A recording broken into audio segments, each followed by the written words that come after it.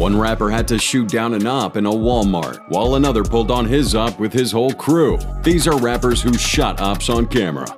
Up next, we have DaBaby, who made a name for himself from the amount of face-offs he's gotten out of alive.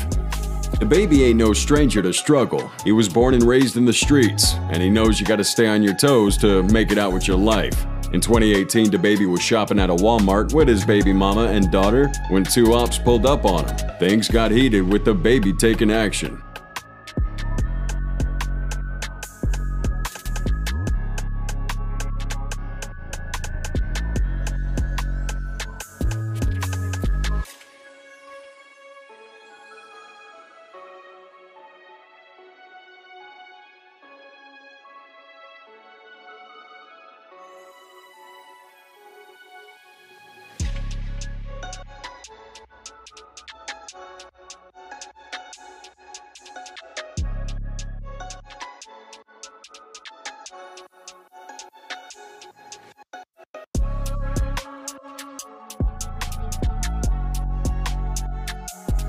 DaBaby only faced a misdemeanor and the other guy lost his life. He claimed it was self-defense and they were reaching into their pockets, so he had to do what he had to do. But that wasn't the first time he had to be quick on his feet. This other time, six guys broke into his crib. But DaBaby wasn't about to let that happen, so he grabbed a gun and got into a 6v1 shootout. He talked about it again on Vlad TV. I see all the niggas. Oh, I still wasn't expecting that. You know what I mean? Like I see like five, six niggas. They the closest one to me.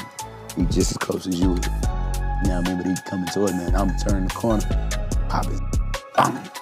And I'm like, they shooting back. Oh, them shooting Oh, back. did they start shooting back? Hell yeah.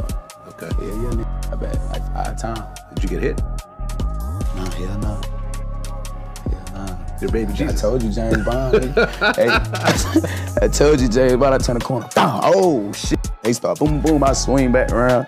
I swing back around the corner, and I like the way it is, like the way the crib is. I told you, you can go up some stairs through the back and go out the garage. Mm-hmm. I swing around the corner and got go up the steps around the garage. I hit the button to see like, Oh, so you start- actually start chasing them. nah, hell nah, don't build that on me. I ain't chasing. Okay. Hate him or love him, you know one thing's for sure, DaBaby ain't never caught lacking.